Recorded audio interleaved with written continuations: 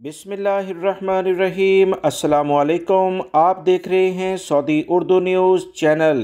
Saudi Arab के अहम ज़राए से जो इतलात शेयर हुई हैं कि सोशल मीडिया पर एक वीडियो वायरल है जिसमें एक ख़ातून जो मुलाजिम है, एक कॉलेज में लड़कियों का ये कॉलेज है, वहाँ पर उसकी इंतहाई मशकूक हरकत नज़र आ रही हैं। सोशल मीडिया के सार्फिन की जानब से कहा गया कि इस औरत का नकाब पहनकर ख़वातीन के इस तरह से कॉलेज में घूमना मशकूक हरकत को ज़ाहिर करता है और जिस तरह से अपनी जेब से कुछ अजीब किस्म की मट्टी निकाल कर ये ज़मीन पर फेंक रही है, इससे अंदाज़ा होता है कि ये कोई शैतानी हरकत कर रही है।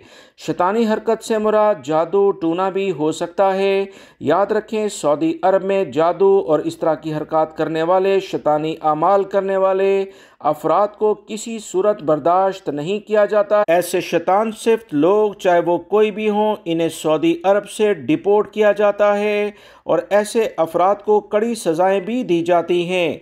सऊदी अरब के अलबहा की अलमखवात वुमेन कॉलेज में यह वाक़ पेश आया, जिसे सऊदी तलबा ने इस औरत की वीडियो बनाकर अपने मुतल हुकाम को दी ताकि इसकी इन हरकत को देखा जा सके। कॉलेज की इंतजामिया की जानब से कहा गया कि फौरी तौर पर कार्रवाई करते हुए मुतल इदारों के हवाले ये तमाम वीडियो शेयर की गई है और इस गैर मुल्की वर्कर जो खातून है, इसके बारे में मजीद कार्रवाई के लिए मुतल इदारे हरकत में आ चुके हैं।